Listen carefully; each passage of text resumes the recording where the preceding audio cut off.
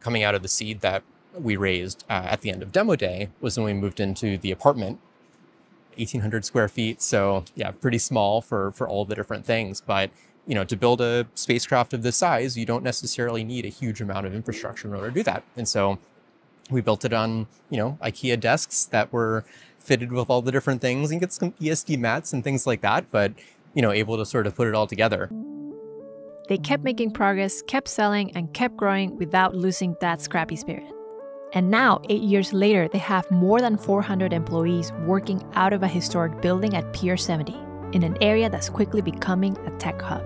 And earlier this year, we visited their manufacturing facility while they were putting the finishing touches on four brand new satellites.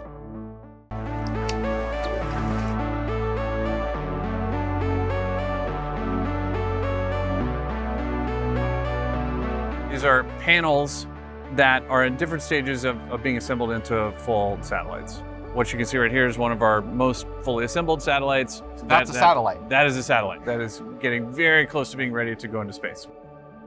So we are launching four satellites. These are launching together on a single rocket. One of the bigger rockets, this is the SpaceX Falcon 9. So we went and got our own dedicated Falcon 9 launch. Oh, there's going to be a dedicated Falcon 9 launch, just Astranis. Yes, I think we were one of the first new companies in history to go and get an entire dedicated Falcon 9. Getting those up, getting those operational, and you know, taking this from the you know one to end, and really getting that first thing going, which has been you know great for scaling up the design and the manufacturing side has been the focus over the past couple years, and then you know this year later we're going to get used to operating. Instead of operating one, we're going to operate five. And there's going to be a lot of learnings and excitement and challenges with that, but we're looking forward to going through all of those.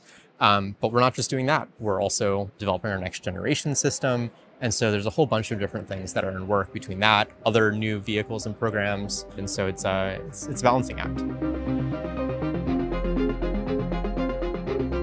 You don't need to be Elon Musk to start a hard tech company.